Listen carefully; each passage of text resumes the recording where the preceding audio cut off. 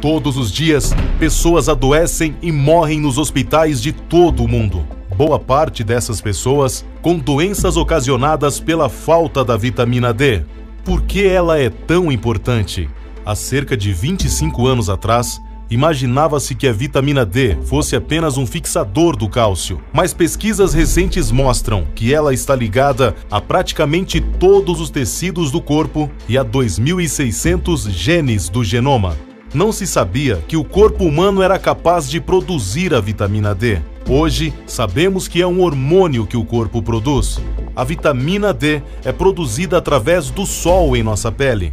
A incidência de sol na nossa pele produz o colicalciferol, que é enviado para o fígado e no fígado se transforma em calcidiol, que é o 25-hidroxi-D, que é enviado para o rim, e no rim se transforma em calcitriol, 1,25-hidroxi-2-D. Essa é a vitamina D ativada que faz bem para a nossa saúde. Para o nosso corpo produzir a vitamina D3, precisamos tomar pelo menos 15 minutos de sol por dia. Porém, esse tempo pode aumentar ou diminuir de acordo com a cor da sua pele. Pele mais clara, menos tempo. Mais escura, mais tempo.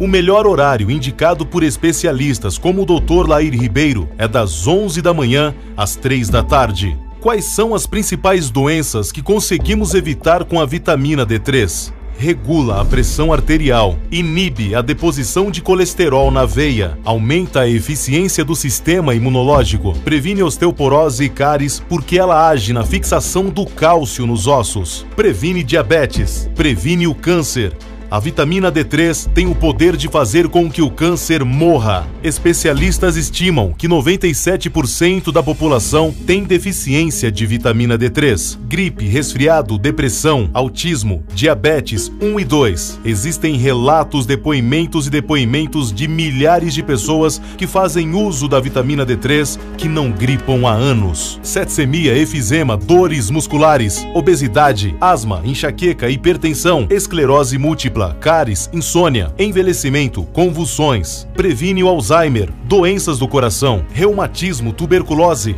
doenças de pele como psoríase, melasma e até mesmo vitiligo podem ser tratados e curados com a vitamina D3. São dezenas e dezenas de benefícios para nossa saúde e curas. Miopia, fertilidade. A vitamina D3 é encontrada em alguns alimentos, mas como a quantidade é mínima, especialistas recomendam o sol ou a suplementação. Antes dos antibióticos, quem tinha doenças como tuberculose, sífilis, psoríase, iam para um lugar chamado solário, onde doenças eram tratadas com sol. Se chamava helioterapia. Os tempos mudaram, endemonizaram o sol. Quanto sol você toma por dia? A maioria das pessoas, absolutamente nada. De manhã, em suas garagens, entram em seus carros, vão para os seus empregos e, ao final do dia, muitos voltam para suas casas sem ao menos ter visto o sol se pôr, se expondo cada vez mais a luzes de lâmpadas fluorescentes, um dos maiores causadores de câncer de pele. Compartilhe esse vídeo, alerte sua família, seus amigos, as pessoas que você ama.